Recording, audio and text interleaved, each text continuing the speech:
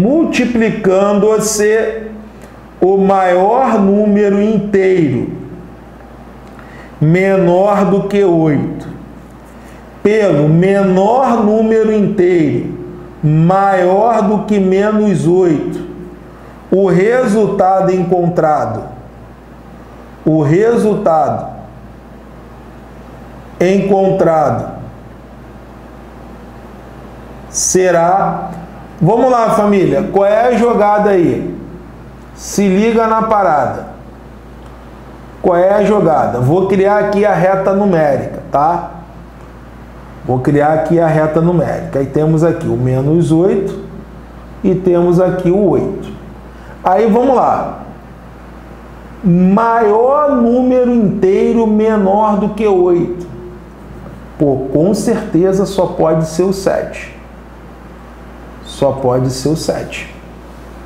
Não é isso?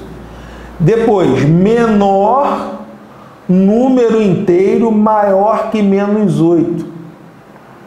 Só pode ser o menos 7. Tá? Só pode ser o menos 7. Cuidado, nos negativos, quanto mais afastado do zero, menor é o número. Então, menos 7 ele não está mais próximo do zero?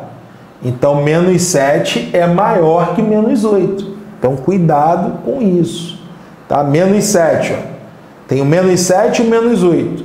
Menos 7 está mais próximo do zero. Menos 8 está mais afastado. Então, menos 7 é maior que menos 8. Cuidado com isso. Então, os números seriam menos 7 e 7.